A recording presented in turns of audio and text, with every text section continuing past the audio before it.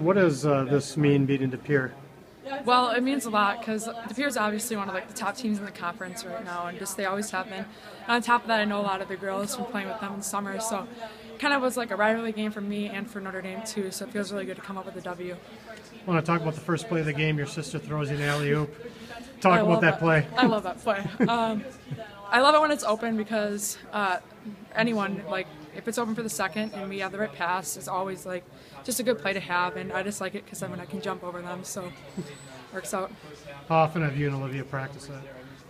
Um, not we practiced that a lot, but that was really the first time that the whole thing executed well. So we did a lot last year. So Uh, first quarter, you girls, you got out to hot start with 11 points.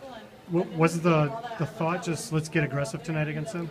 Well, Sarah told us before the game she was just like you need to play four full quarters, and then we just really uh, needed like the um, we knew Allie would have a big game.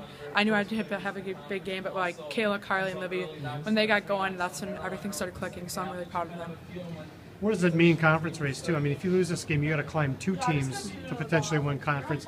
Now you're still one behind North. So how big is that? Well, um, it's big. One because I know that De Pere plays them again, and they could probably beat them. So, and also, it's just our conference is very tight, and anyone can beat anyone. So, having big wins and and, and big games are really huge. Talk about the defense tonight too. You only gave allowed 33. Um, you, you you girls can score, but how how good was your D tonight? Um, I thought we played really good half court defense tonight. Um, we really wanted to hold them down to as le- like the least amount of points that we can, and so it was it was just felt really good to be able to get the stops and then take advantage of them on offense.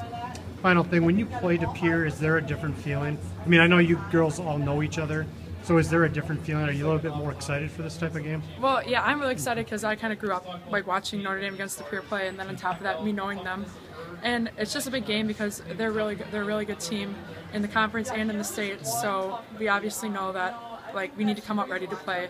It's a big game, and it can really prepare us for the future too.